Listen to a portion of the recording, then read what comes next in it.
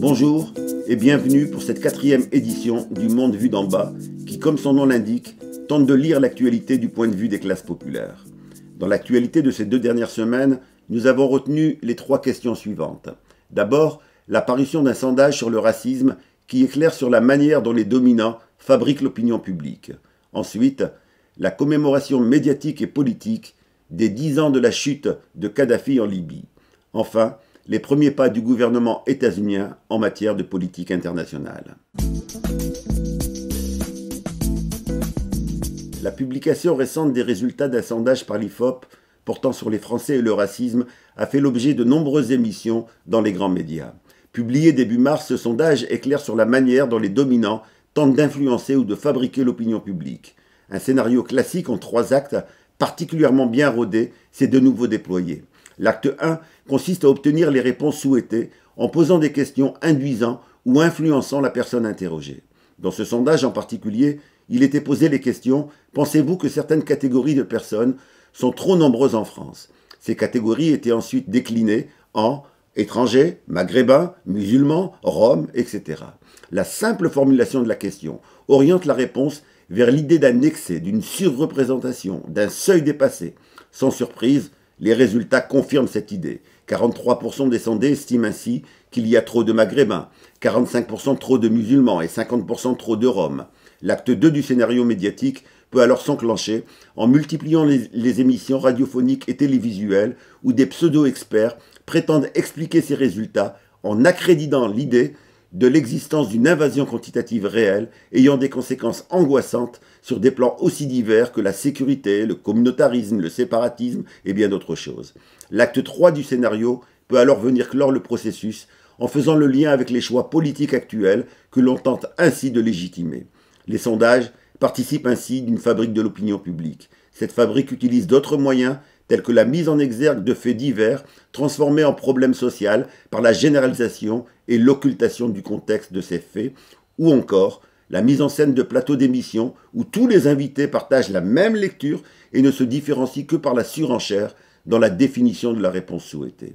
Loin d'être une réalité objective, l'opinion publique décrite par les médias dominants est une fabrication servant certains intérêts et en desservant d'autres. Les dix ans de la chute du président libyen Muammar Kadhafi ont également fait l'objet de nombreuses émissions médiatiques.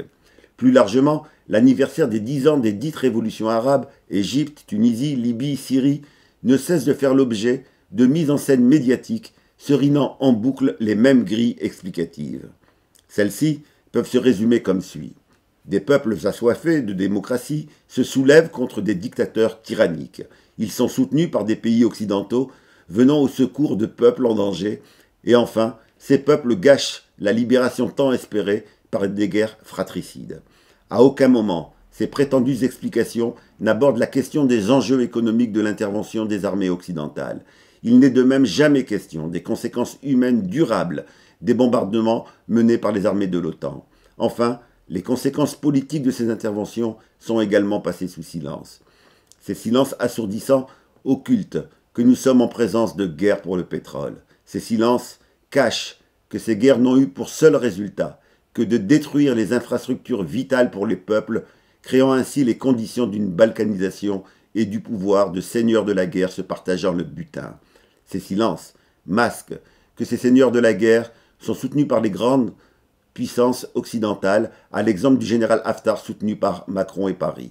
La manière de raconter l'histoire participe, on le voit, des stratégies de domination du monde. Un des derniers actes de l'administration Trump a été d'inscrire Cuba sur la liste noire états-unienne des États soutenant le terrorisme.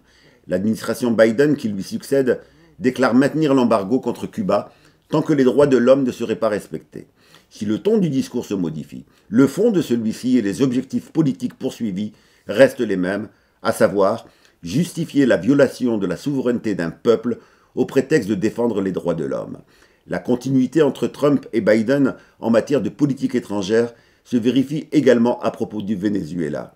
Un des premiers actes du nouveau secrétaire d'État états-unien à la politique étrangère, M. Anthony Blinken, a été de recevoir le 2 mars le réactionnaire Juan Guaido ayant, rappelons-le, tenté un coup d'État soutenu par Trump.